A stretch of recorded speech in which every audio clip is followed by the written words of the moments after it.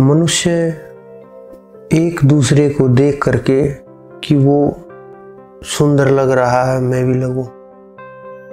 वो ऐसा बोल रहा है, मैं भी उसकी तरह से उन्हीं शब्दों का प्रयोग करूँ।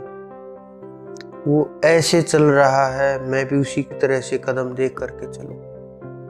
उसने जो पहना है, वही मैं पहनूं। वो ऐसे हेयर कट करवा रखे हैं, मैं भी वैसे ही करवाऊं। वो इस प्रकार से गर्दन घुमाता है, मैं भी इसी प्रकार से गर्दन घुमा। एक दूसरे को देख करके उनको फॉलो करने की कोशिश करते हैं, उनके पीछे चलने की कोशिश करते हैं। ये लोग वहाँ तक नहीं सोच पाते। कहाँ तक? जहाँ तक प्रकृति ने मानव को बनाया है कि प्रत्येक व्यक्ति अपने आप में पूर्ण है। कोई भी मनुष्य, कोई भी जीव प्रकृति के अंदर ऐसे ही खाम खा बिना कारण के नहीं आता। आप अगर इस प्रकृति के अंदर आए हैं तो आपका अपना अस्तित्व है। बिना अस्तित्व के आप प्रकृति के अंदर नहीं आ सकते। आपका अपना महत्व है। आपका अपना कार्य है। आपकी अपनी विशेषता है। आप अपने आप में विशेष हैं। जब तक ये चीज़ें आपको समा, समझ नहीं आएँगी जब तक आपकी बुद्धि के अंदर ये घुस नहीं जाएगा कि आप अपने आप में अलग व्यक्तित्व प्रकृति के अंदर आपका अलग महत्व तब तक आप ऐसे ही भागते रहो दूसरों के पीछे। लेकिन समझ नहीं आएगा कि आप सोचते हैं ये बड़े बड़े स्टार हैं। बड़े बड़े खिलाड़ी हैं बड़े बड़े बिजनेसमैन हैं बड़े बड़े किसी भी अक्षेत्र में, जिन्होंने अपने अक्षेत्र में, अपनी फ़ील्ड में उस चरम को छुआ है, उस ऊंचाई को प्राप्त किया है। और चाहे संघर्ष से पहुँचे, चाहे जन्म से पहुँचे, कैसे भी लेकिन उन्होंने अपना लक्ष्य पा लिया। ऐसे लोगों के चेहरे अलग दिखाई देते, अलग महसूस होते कि अरे, इनका चेहरा बड़ा चमकदार है, इनकी बातें बड़ी प्रभावित करने वाली इनकी चाल देखिए, कैसे रहते हैं, कैसे खाते पीते हैं, कैसे दिनचर्या है, हम घुसने का प्रयत्न करते हैं।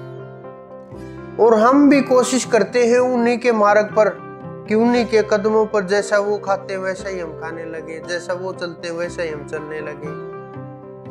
इससे आप वहाँ नहीं पहुँच जाओगे। आप अपने जो अपना व्यक्तित्व है, उसको खो दोगे और ये इतनी बड़ी हानि होगी, इतनी बड़ी हानि होगी। आप विचार नहीं कर पाओगे। कि आपने इस सृष्टि से एक मानव को महामानव बनने की बजाय उसे नीचे की सीढ़ियों के ऊपर धकेल दिया। आप अपने लक्ष्य को निर्धारित करो और अपने व्यक्तित्व को उसी के अनुसार डेवलप करो। उसी के अनुसार चलना शुरू ये चीज़ें नेचुरल आ जाएँगी। लोग ये नहीं कि पहले फेस चमक गए, बाद में कामयाब हुए पहले कामयाब हुए, फिर ये रंगत, रौनक, ये चेहरे के भाव, ये सब दिखाई दे क्योंकि उनके अंदर जो आत्मविश्वास होता है ना वो झलकता है। और आपके अंदर वो आत्मविश्वास कॉपी करने से नहीं आएगा। इसके ऊपर मेहनत करने से आएगा। काम करने से आएगा। चलने से आएगा। अपनी बुद्धि के निकार से आएगा। अपना ध्यान केंद्रित करने से आएगा। कामयाबी से आएगा। लक्ष्य से आएगा और अपने जीवन को नियमों में बाँध लेने से आएगा। अपने बुद्धि और विचारों को कंट्रोल करने से आएगा। अपने बुद्धि के निखार से आएगा। सीखते रहने से आएगा। खोजने से आएगा। और अपने आप को स्वर्ण की तरह से तपा करके, जब आप आग से जल करके निखरोगे, आपका व्यक्तित्व अपने आप ही निखरना शुरू हो जाएगा। बाहर की किसी भी वस्तुओं की उसमें आवश्यकता बिल्कुल भी नहीं है। ये अंदर का निखार है, जो बाहर सबको दिखाई देगा और आपको भी अनुभव